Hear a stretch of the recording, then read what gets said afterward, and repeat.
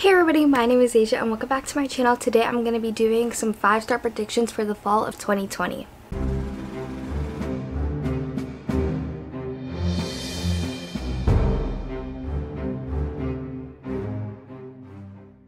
So sorry if I'm a little bit of a crackhead today in this video. I have been really feeling that energy today. It's not Zoo Turkey Nurbler.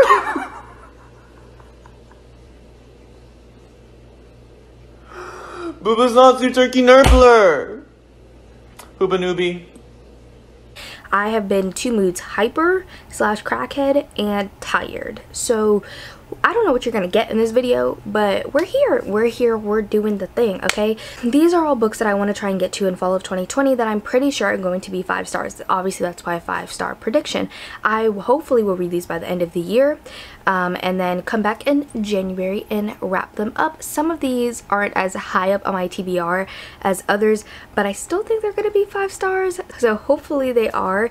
And this doesn't mean that I don't think there are other books that could possibly be five stars. I just think that those books could be four or five stars. I also didn't really want to include sequels on this, but I will quickly mention some sequels at the end that I think will be five stars, just as little bonuses. So the first book that I think could be a five star read is The Beautiful by Renee Ahdieh. When this first came out, I was hearing kind of some mixed reviews. I know some people said this didn't have enough vampires in it for them, while other ones really loved it. I think that I really love this for some reason. It does take place in New Orleans. I've been there and I love it so much. I think this kind of might have like secret secret societies or something in it. I'm not sure, but I think that this will be a five star. This also does take place in like a historic time period, which I love.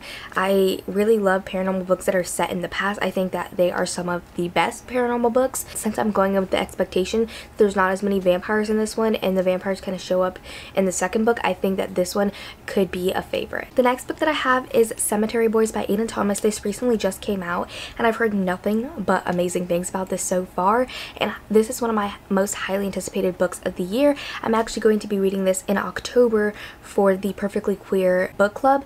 I'm going to be their guest host and we're going to be reading this book and I'm super excited to be reading this. So this book follows a trans boy who's in a Latinx culture that does actually have magic in it and so he wants to prove that he can be a brujo because they're brujos which are the boys and brujas which are the girls and they perform two different types of magic so he wants to prove that he's actually a brujo to his family family because they aren't really accepting of his gender. So he's trying to summon this ghost, but he accidentally summons the wrong one, and it's actually the bad boy of his school who died. So they kind of make this deal where the uh, bad boy who is a ghost um, he wants to tie things up because obviously he died very abruptly. So he makes this deal that he will um, just stay around for a bit and pick up the loose ends of his life.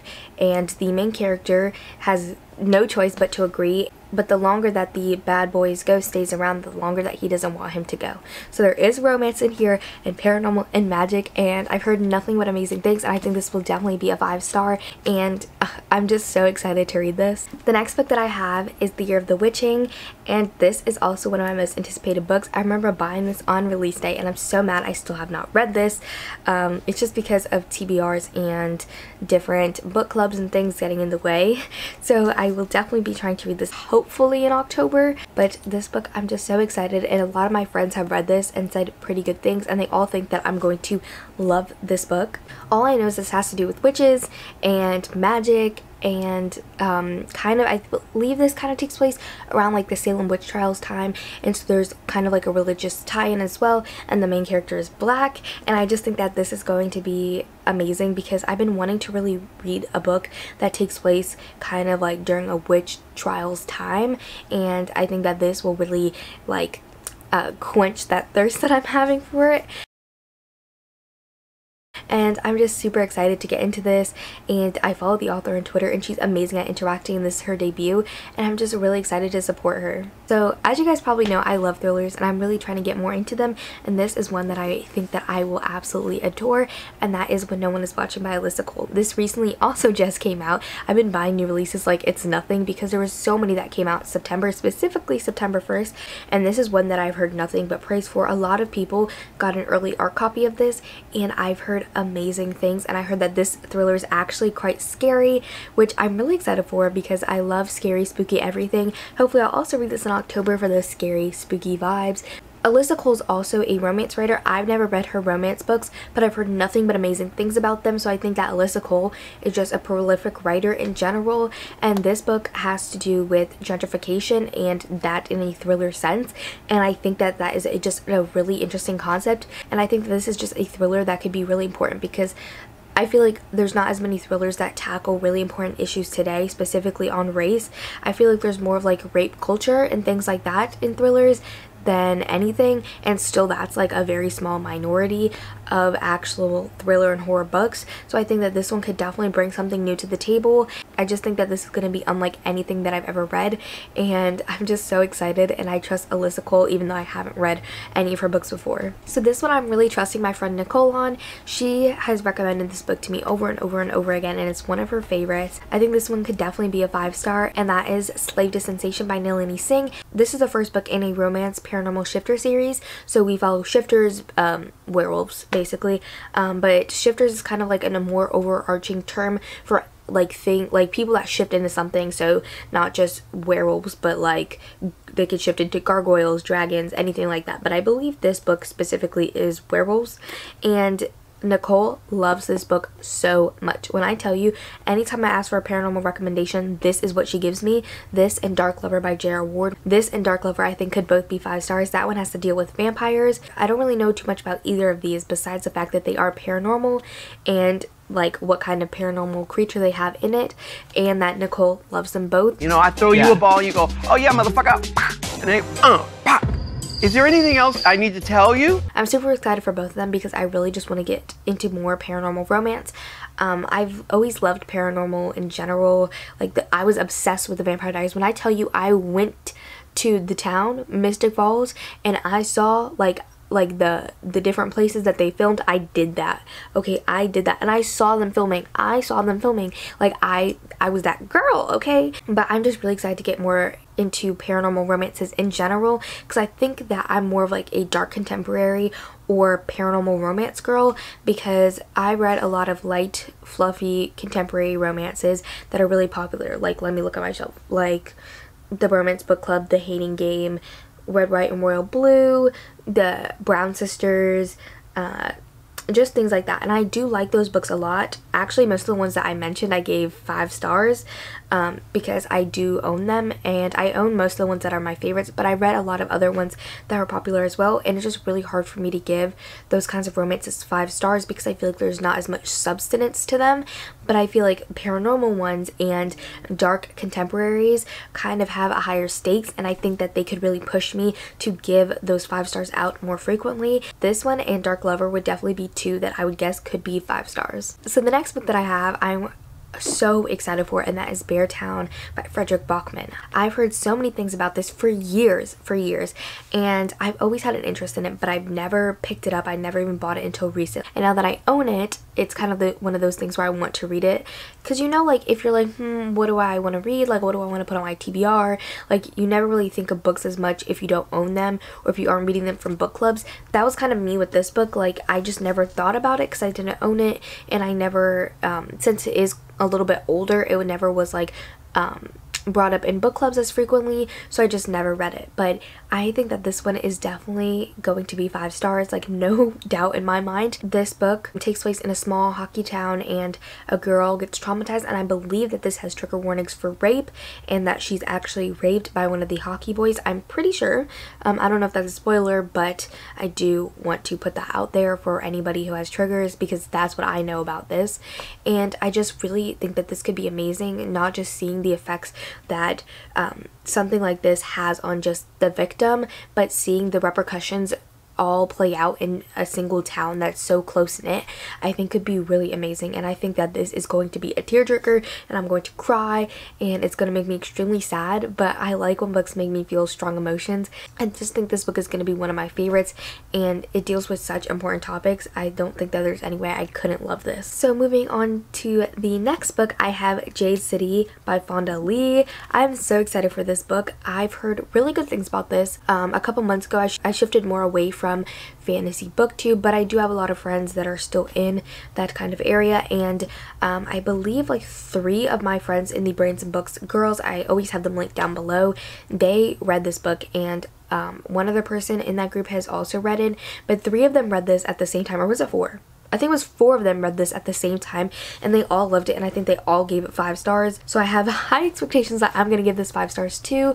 Um, I believe this kind of has like rivaling families because um, Nicole from Nicole and her books, she did a video where she read books that had to do with mafia families and she read this in it. So I think this kind of has to do with that, which we love to see. We love to see a good mafia influence. Um, I don't think it's exactly mafia because this is in a like Asian culture inspired world and I'm just really excited to be in on the hype because I feel left out, okay? I don't like feeling left out. So the last non-sequel that I have is Ninth House by Leigh Bardugo. Everybody that I know that's read this has loved this. Same with like most of these books, but some of them I've only heard one or two people talk about them, but this one a lot of people read. I know some people didn't really like this book, but all of my personal friends really really enjoyed this book and I love really dark twisted things as you guys probably could realize by now um, I really just like dark things and this does have like secret society cult kind of activity on a college campus and I love those dark academia vibes but I think that this one could be one that I really really love. I know this also has magic in it I'm pretty sure which I didn't know at first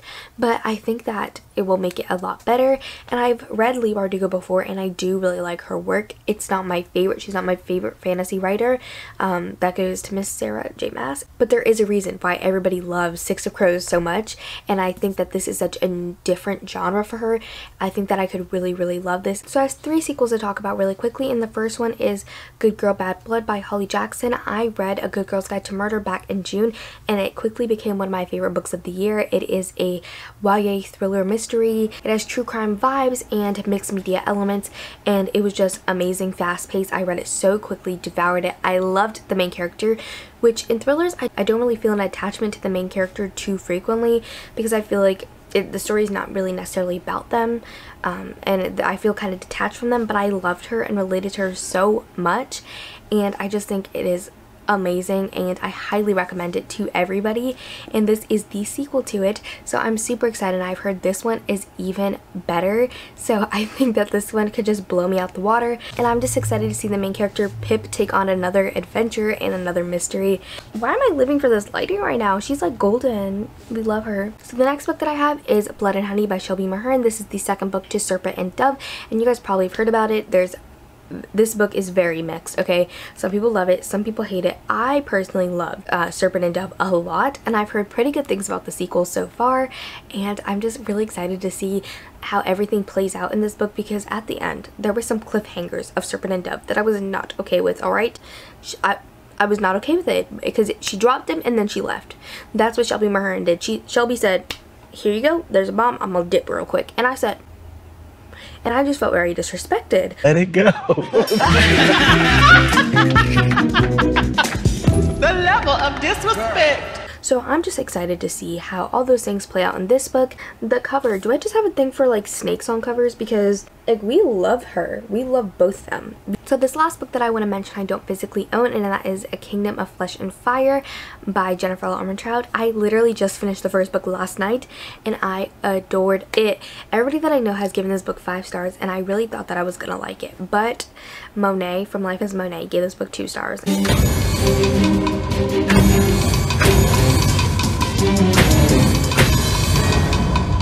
And we discussed it last night and the reason that she didn't like it is because she found Hawke, the main male love interest, very toxic and manipulative. But you know what? I love him. I love his toxic, manipulative self. I want I want him. I am going to create an environment that is so toxic.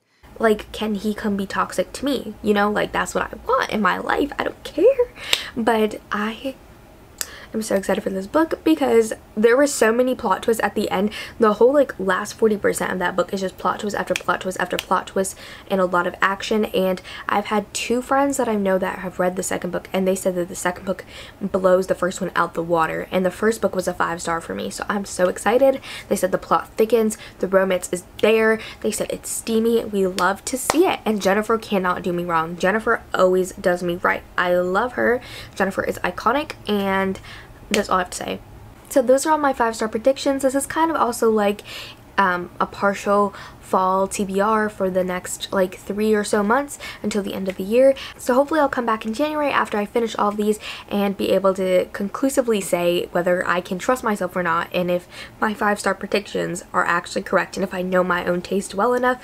I think I do. I would love to hear your guys' five star predictions down below and if you guys are anticipating any of these books, if you guys have read any of these books and have opinions on them, whether you love them or hated them and think I'm gonna hate them too, let me know down below and I hope you guys enjoyed. I will see you guys in my next video. Bye. You always posting up pictures, trying to look like you winning.